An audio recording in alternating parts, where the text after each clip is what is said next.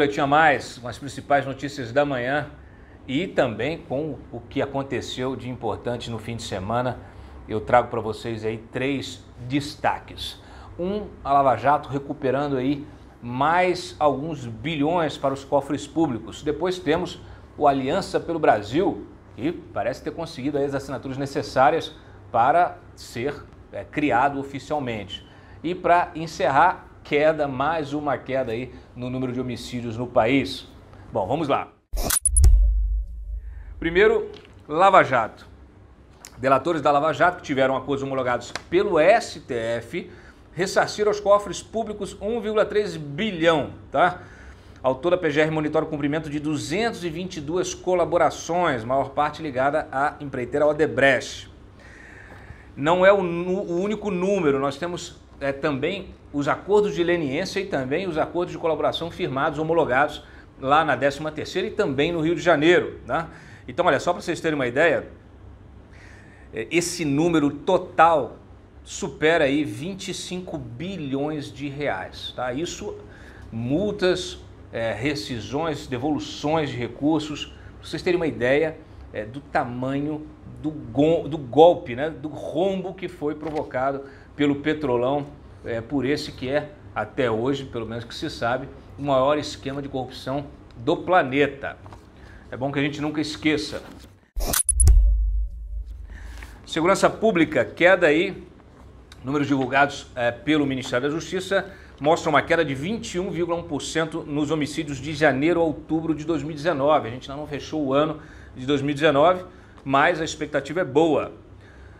Foram mais de 8.700 vidas preservadas em 10 meses. 23,1% de queda no crime de roubo seguido de morte, 6,5% em tentativa de homicídio, 5,2% a menos de lesão corporal seguida de morte, 5,7% a menos de estupros, 12,2% a menos de furto de veículos, 22% a menos de roubo de carga e 26,6% a menos também de roubos de veículos. Então aí, muito bem, para os detratores, para aqueles que querem fritar o Moro, que querem separar a segurança pública do Ministério da Justiça, está cada vez mais difícil.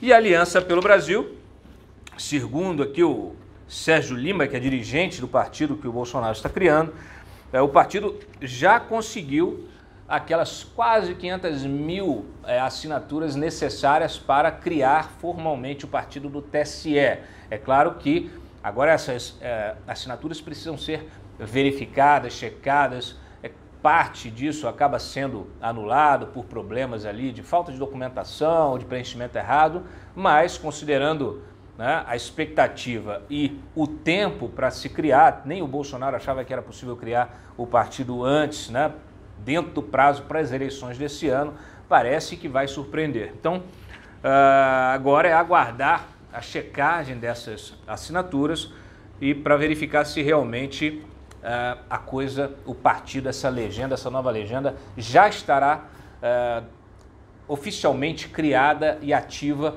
para as eleições deste ano. É isso. Eu retorno mais tarde no Momento Antagonista e não deixe de acompanhar nossa cobertura em tempo real no antagonista.com e no aplicativo A Mais. Um abraço a todos e uma boa semana.